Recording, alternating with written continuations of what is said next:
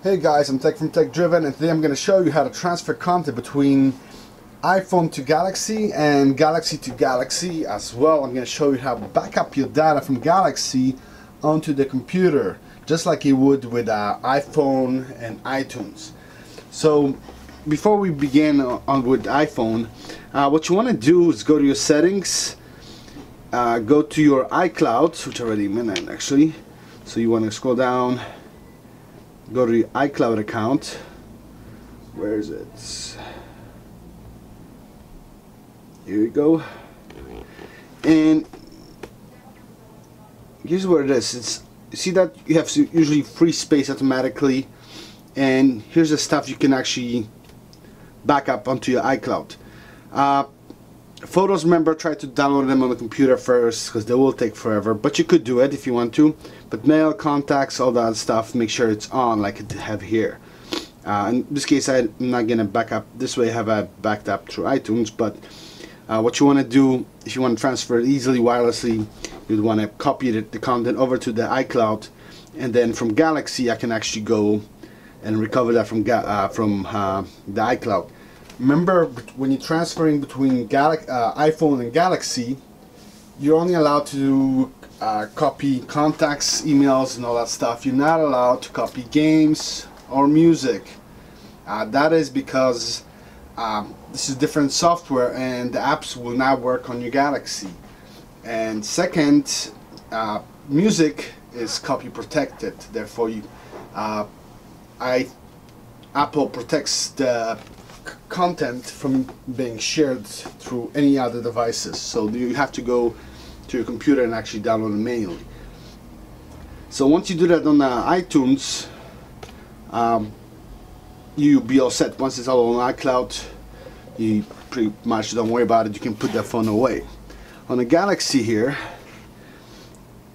uh, what you want to do is, if you don't have it already, download uh, Smart Switch from Samsung this is the app right here. Chances are if you have a Galaxy S7 you have you already have it. And if you uh, log in through initial content it's gonna bring you to that screen right here. So this software has been uh, updated but it's still the same functions. Uh, you can do it wirelessly you can do it through, through cable. Uh, so it gives you an option for example when you download manually it will give you an option where you want to copy the content from iOS, Android or BlackBerry device.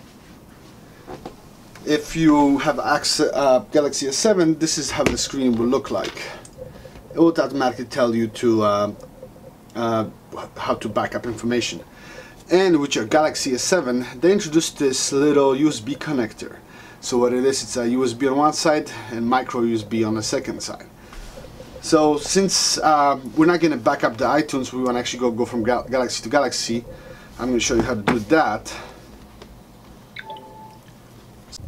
Okay, so if you want to transfer over content from Galaxy to Galaxy, in my case Galaxy S5, S7, uh, what you want to do is connect one end, the regular, uh, to the Galaxy S5, and the USB connection with the adapter to the new device that you want to copy stuff over to.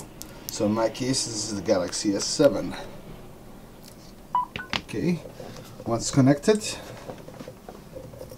it should check the phone for content. I'm gonna let this run for a little bit. Once it's completed, it's gonna give us a list of what it can copy.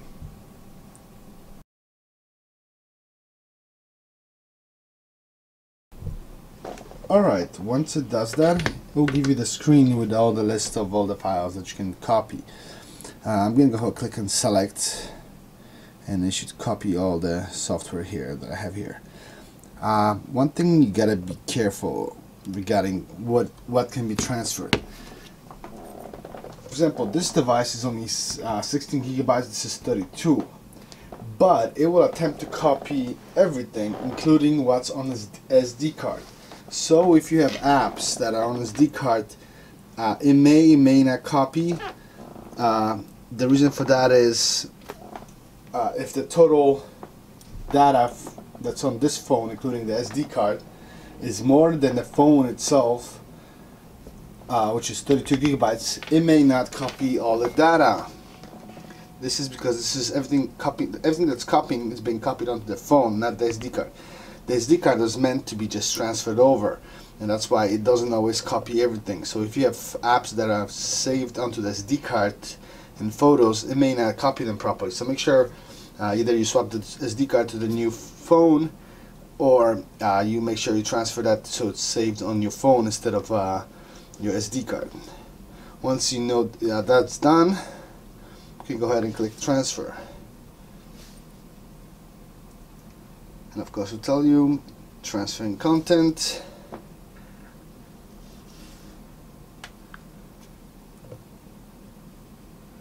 I'm to click on transfer again. If we scroll down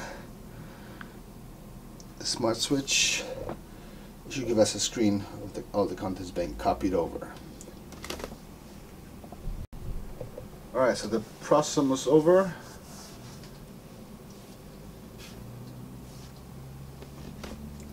Once it's done, it's going to tell you it's saving.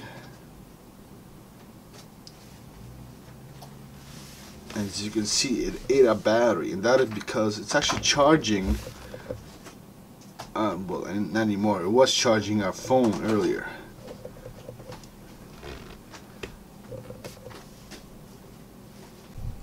Alright, once completed, it should tell you that it's all done, the amount of data that it transferred, and if we go back on the front screen, you shouldn't see any new apps because it's, uh, you know, it's telling you that you can fill it in.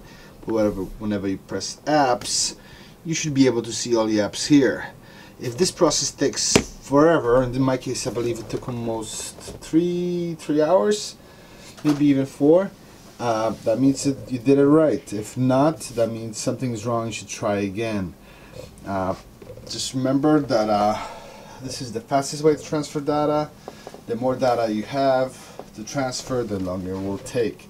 Just so make sure that uh, whatever data you're transferring is on the phone and not the SD card. The SD card may not copy everything, and, and of course, when you're copying, it tries to copy the data from the use uh, this the SD card and the phone itself so make sure you have enough space. Alright, if you want to back up uh, your data, this is one way to do it. You can download Samsung Kies, which is Samsung K-I-E-S 3. Uh, the only problem with this software, it no longer supports Galaxy S7. Uh, however, it does support S5 and older models. It's uh, right now. I mean, I'm sure there will be a update for it that will support newer devices, but uh, right now it's only supports up to 5.0. Uh, but you can still download, uh, back up your Galaxy S5 just in case you have all your data and it's recoverable. So when you connect the phone, it will detect the phone and it will give you the options of actually backing up. It's telling me what I have uh, here for memory and I can actually do sync and backup so can sync my contacts and I can back up all my files so actually I already did that but you can click on and backup at the same time you can actually restore it uh, once it becomes uh, uh, the, some kind of update comes out and then um, it's possible that it will support the Galaxy S5 but until then you can uh, you should just back up your old phone just in case. That way you can always go back at least to an older phone versus nothing. Uh, I hope you enjoyed this video and if you have any questions please let me know.